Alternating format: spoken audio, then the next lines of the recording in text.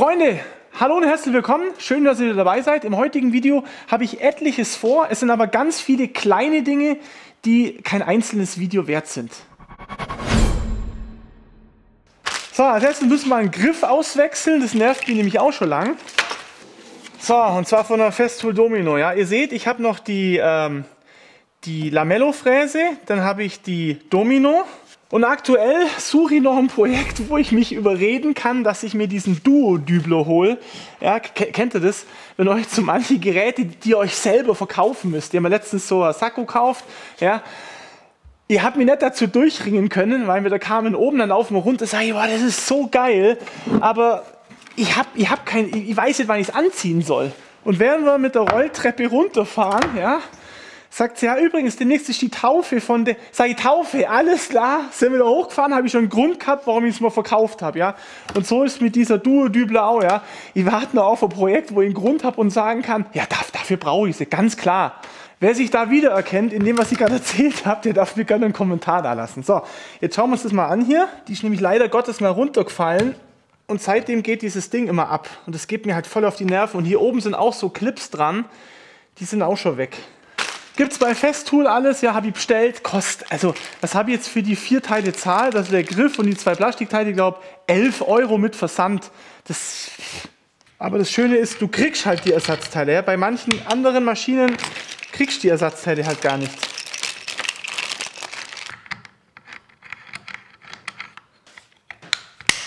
So, jetzt geht es nämlich nochmal ab. Das ist nämlich gehörig auf die Nerven gegangen, sage ich euch. So, jetzt machen wir die zwei Plastikdinger da wieder drauf.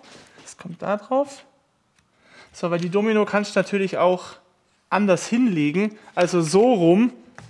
Deswegen sind diese Teile da da zum Schutz des Aluminiums, dass das nicht ver verkackt. Verkackt, kannst du vielleicht ein anderes Wort finden. Wie sagt man? Verschrammt, genau. Dass das nicht vermackt, genau. Vermackt und verschrammt. Verkackt hört sich ja, hört sich ja kacke an. Gut, das Gerät haben wir repariert. Oh, da habe ich auch noch was, das werde ich demnächst auch machen. Da ich jetzt äh, neue Superkräfte habe, aka ich kann meinen 3D-Drucker gerade bedienen und ein bisschen konstruieren, werde ich das hier neu machen. Den Schieber da, der ist für die Voreinstellungen der Materialdicken. Habe ich bei Etsy gesehen, da gibt es welche, die machen das für die üblichen Materialien. Das fängt hier irgendwie bei 18, 20, 22, 25. Aber das sind jetzt eher Materialdicken, die bei mir in der Werkstatt selten vorkommen. Bei mir ist eher 12, 18, 18 war es dann eigentlich auch fast schon. Und dann werde ich mir diesen Schieber neu machen. Wie gesagt, bei Etsy gab es einen, der hat das gemacht.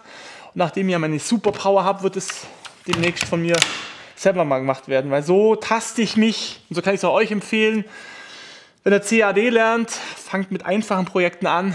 Anders geht es ja auch nicht, ja. Und das sind halt so einfache Projekte, wo ich mir meine ersten Sporen verdiene. Gut, erste Sache von 5000 abgeschlossen. Das sind ja alles so Sachen, die finden statt, ja, wenn die Kamera nicht an ist dann nach dieses Mal filme ich es einfach mal mit. So, nächstes Thema, mein Schneidebrett. Ich habe hier, ich zeige es euch mal. Ich habe an mein Schneidebrett solche Füße dran gebaut. Das ist natürlich einmal, dass das nicht direkt auf der Küchenplatte aufsteht, wenn da irgendwie Wasser auf der Küchenplatte ist oder so, dass das nicht direkt mit der, mit der Fläche in Berührung kommt. Jetzt gibt es mit diesen Füßen leider nur ein einziges Problem. Und zwar habe ich auf etwas nicht geachtet. Hoppala. Und zwar habe ich auf etwas nicht geachtet. Ja, man dann letztens feststellt, das steht auf unserer Küchenplatte und sie will wischen und dieses ganze Schneidbrett bewegt sich hin und her. Haben wir festgestellt, dass, dass es keine Anti-Rutschfüße sind. Bei, der, bei dem anderen Schneidebrett, das steht richtig fest. So, das sind ja eigentlich auch Küchenplatten hier. Das können wir gerade mal simulieren. Wie gesagt, das ist halt blöd, wenn du das Ding auf, auf der Küchenplatte stehen hast und du möchtest es abwischen. Ja, komisch, hier steht es jetzt, ja. Wie dem auch sei, daheim ist es auf jeden Fall durch die Gegend gerutscht. Dann haben wir bei Amazon Anti-Rutschfüße bestellt. Rat mal, was gerutscht ist. Genau die Füße. Da habe ich ewig rumgesucht, weil die bei dem vorherigen Schneidbrett, die waren super geil. Ich habe, glaube ich, ewig gebraucht, bis ich die gefunden habe. Und zwar sind es, keine Werbung, ja, das sind von 3M Bump On nennen die sich. Ich habe die leider nicht mehr in der gleichen Größe bekommen, deswegen müssen wir jetzt gucken, wie wir das irgendwie adaptieren. Aber das sind halt wirklich richtig geile Anti-Rutschfüße. Und alle denken sich so, Alter, warum zeigt das was Langweiliges? Naja, ihr werdet gleich sehen, warum es nicht so ganz langweilig ist, wenn ich es rauskriege, ohne mich zu verletzen. So, hier. Das Ding ist nämlich erheblich tiefer als mein Teil, was wir jetzt hier gleich reinkleben werden. Schier in Bauch gestochen, hey. Also müssen, witzig, also müssen wir uns jetzt quasi überlegen, wie wir das adaptieren, dass wir diese kleinen Furzdinger Ah, genau, und genau sagen. Ah, super, genau mit der Klebeseite natürlich auf dem Boden, gell? Ah, das sind so Tage, da, die liebe ich nicht. So, ihr seht, das passt zwar locker rein, aber ist leider bündig mit der Fläche. Also bringt es mir so nichts. Jetzt müssten wir gucken, wie wir das auffüllen können. Es gibt natürlich mehrere Varianten. Schauen wir mal, ob... Ja, die Variante ist scheiße. Ihr könnt da zwei, drei so Münzen reinkleben. Aber das ist ja auch Verschwendung, oder? Das ist ja auch Quatsch. Müssen wir irgendwie anders lösen. Das müsste irgendwas aus Holz sein. Rund. Genau in dem Durchmesser.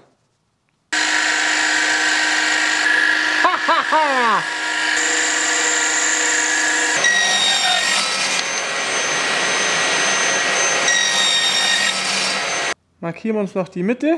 Das ist ein sogenannter Zentrumsfinder. Da habe ich dann am Schluss perfekt die Mitte markiert. Ja, aber warum klebst du Truppe? Ganz einfach. Das Schneidbrett wurde ja geölt und auf einem verölten Holz kannst du fünfmal mit Leim probieren, wird nicht gehen. Könnt ihr gerne mal probieren. Ich habe es auch schon oft gedacht, scheiß drauf, machen wir es einfach. Hält nichts.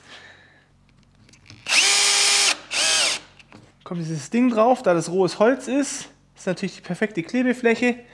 So, geht nie wieder ab. Jetzt hoffe ich, dass es nicht wackelt.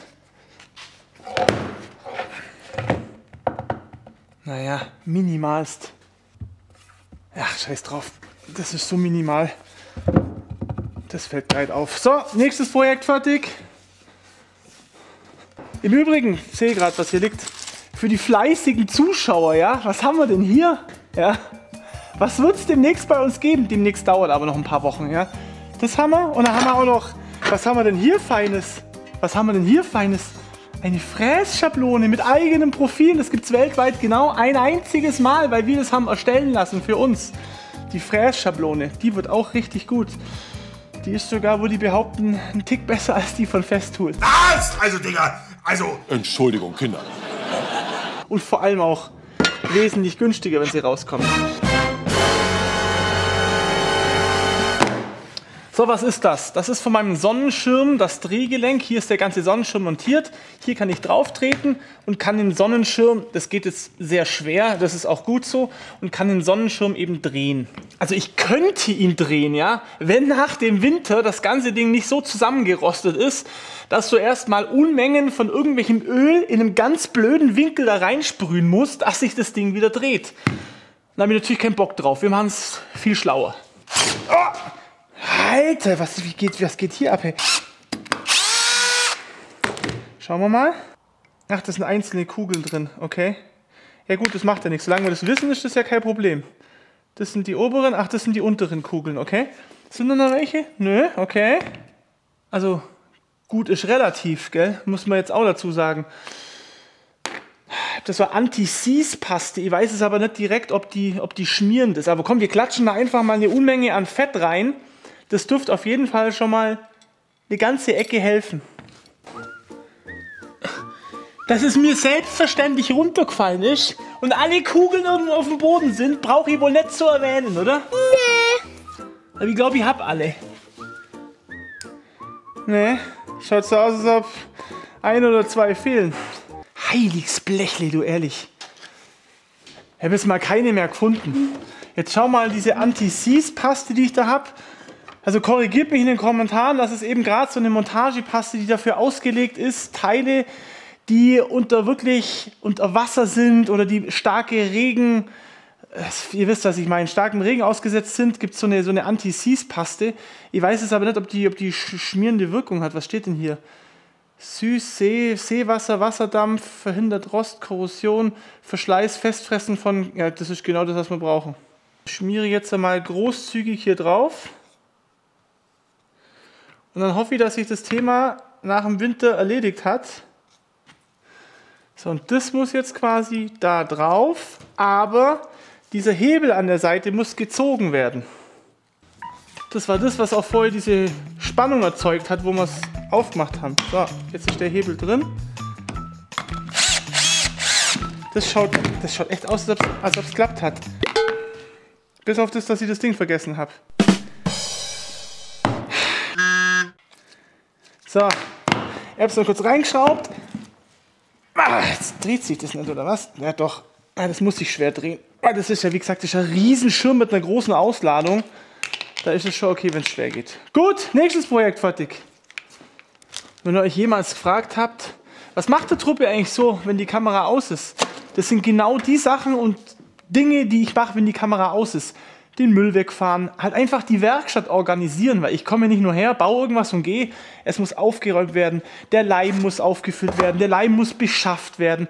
Das ist nichts anderes wie in einem völlig normalen Betrieb hier, nur dass ich halt einfach YouTube-Videos mache. Aber zu einem normalen Unternehmen ist hier keinerlei Unterschied. Also mein Müll muss ja auch jemand wegbringen, gekehrt muss werden, sauber gemacht muss werden.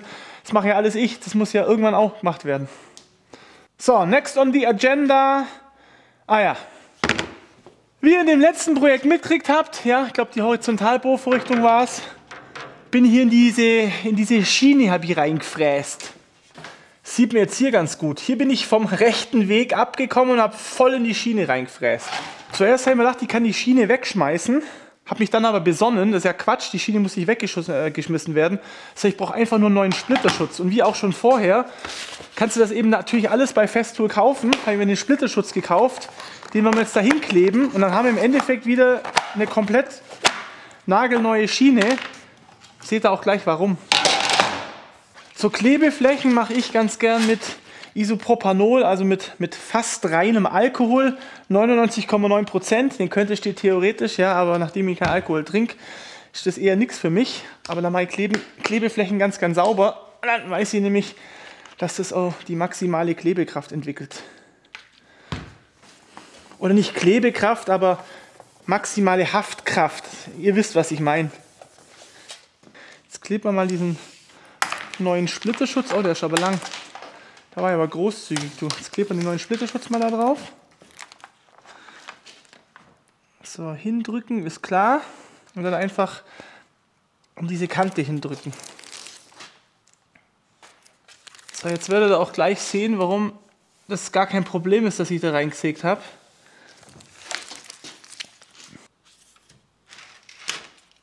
Aber dann eine Ecke, das ist nicht gleich direkt. So, eine wichtige Sache müssen wir noch gleich machen, die dürfen wir auf keinen Fall vergessen, sonst gibt es nämlich große Probleme beim Sägen.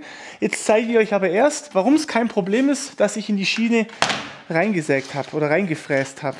Denn im Endeffekt ist dieser Splitterschutz hier, mit dieser Kante des Splitterschutzes visiere ich ja quasi die Linien an, an die ich es anlege, nicht mit der Schiene.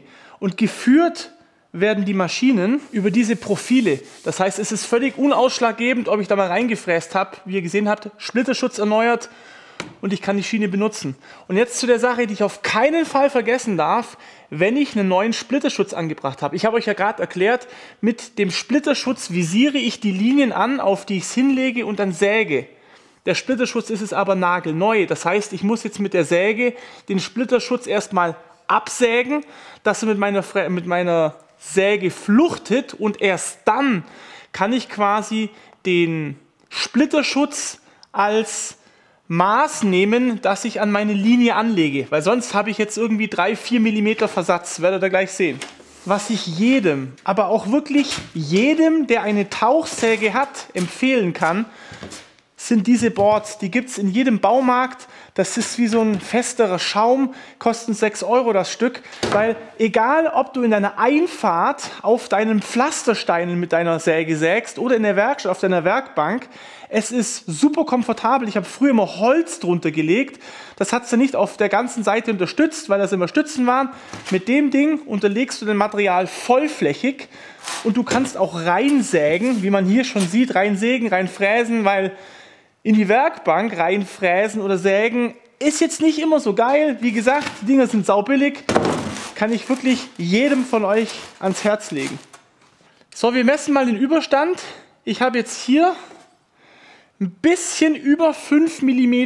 Denn wenn man das nicht macht, und ich hätte das auch beinahe vergessen, dann wundert man sich am Schluss, ja Moment mal, das Ding sollte irgendwie 30 cm sein, es ist aber 28. Ja, warum? Ja, weil du vergessen hast, den Splitterschutz einzusägen. Ja?